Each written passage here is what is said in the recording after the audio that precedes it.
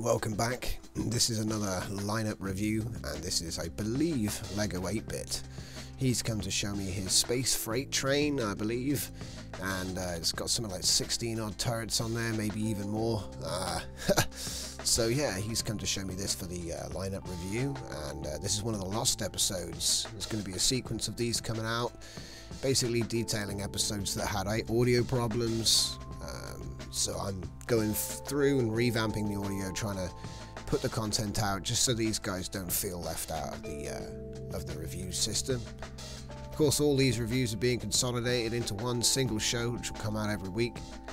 Um, but like I say, just to honour these good people for showing up, I just thought we'd take a little look around this space freight train and. Uh, yeah, like I say, we've got some cool turrets on the back, got a nice concept. Reminds me a lot of the uh, pulse ship that I made with turrets quite a while back, the Orion Pulse turret ship. It's got an interesting interior, got all your computers up front, nice red lighting on the yellow actually looks works really well.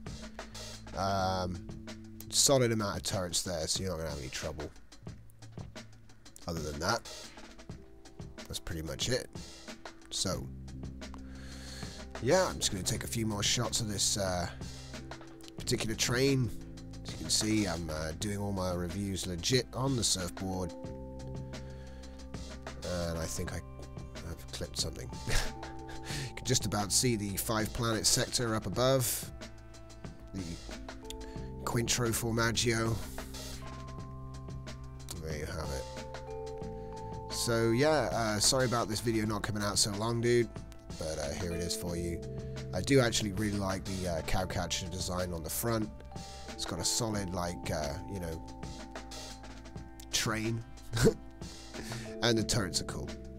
And it's surprising more people don't make framework ships. For the pirates, this is going to be good. I guess that's a shield and engine module at the back, but could just be shields. But yeah, so that's uh, this particular freight train with turrets. I believe it was made by Air Lego 8-Bit. And if I'm wrong, then shoot me, because I've got no audio for this episode. but we will get the credit edited if I'm wrong.